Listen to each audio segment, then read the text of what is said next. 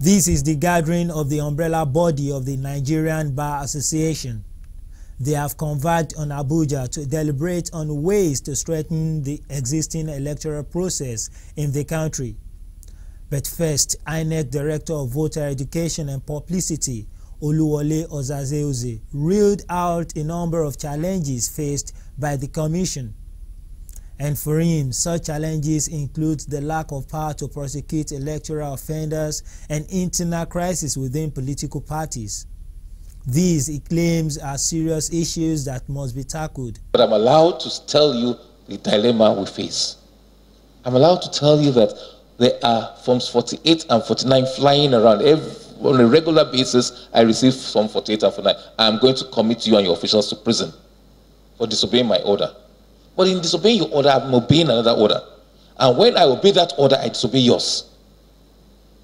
So I, have, I run the risk either way of ending up in prison. That cannot be good for our jurisprudence. That cannot be good for our society. It hampers the smooth administration of the electoral process. It started like a joke. We had it in Delta in 99. Anambra has been perennial.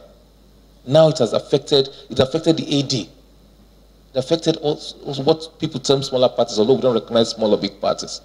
For his part, Deputy Senate President Ike Ekweremadu assured the gathering that the Senate will come up with legislations that will help address the fears of the Commission. Ekweremadu charged the lawyers to do more at ensuring nation's democracy is sustained.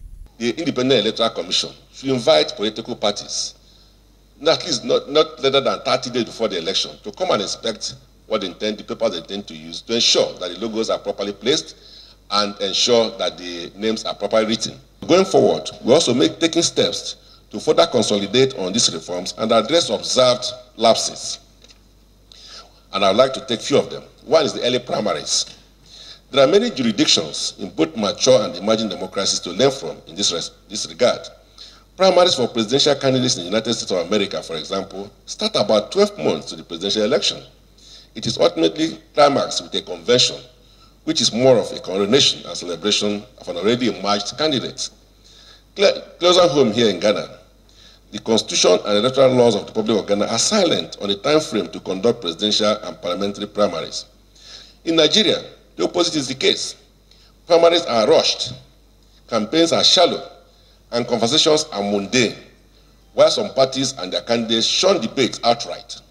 In such circumstances, the electorates are unable to, to sound candidates out on their mouth-watering campaign promises, especially how they intend to fulfill them. For the chairman of NBA Abuja chapter, INEC is doing a credible job with reference to just concluded Ondo and Edo elections, but feels it could perform better. I think INEC as an institution should be strengthened to perform its role.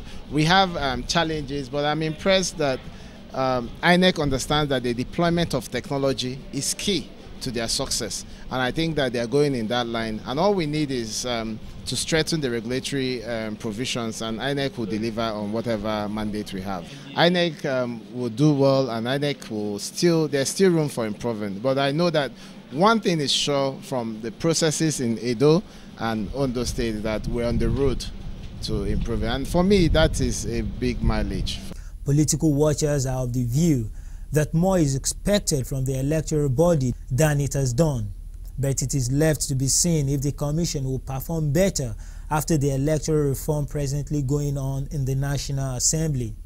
Abayomi Akimbola, PTV News, Abuja.